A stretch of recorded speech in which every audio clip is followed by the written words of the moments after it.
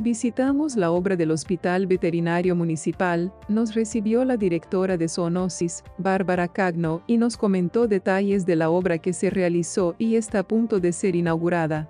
La verdad que sí, bueno, primero, buenos días.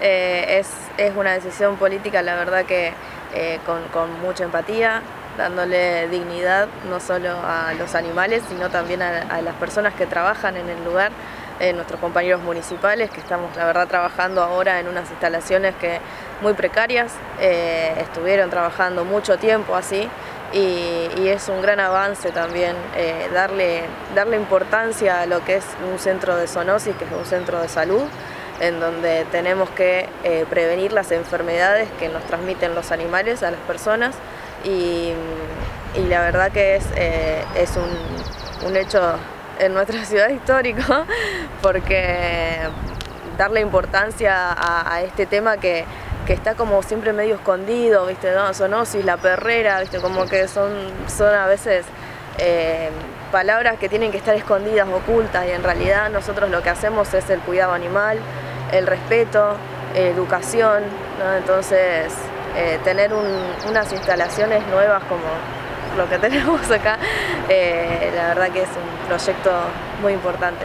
Contame con qué va a contar el centro este de, de salud para, para, animales, digamos. Bien, eh, el centro de salud, bueno, primero estamos en, en, el lugar en donde va a funcionar también bromatología y cenaza. Eh, va a estar el centro de zoonosis en donde también va a estar funcionando el hospital veterinario.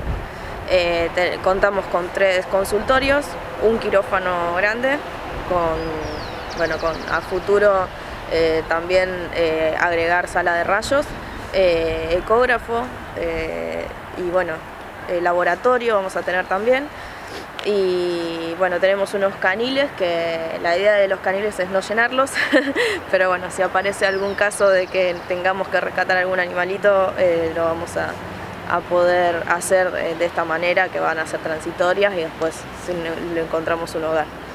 Eh, muy contentos también porque es el primer lugar en el que va a funcionar bromatología, cenaza y zoonosis en conjunto, eh, o sea, en el mismo, en el mismo espacio no se da muchas veces esto y la verdad que trabajar con Nación es, eh, es muy importante ¿no? para, para todo nuestro, nuestro municipio.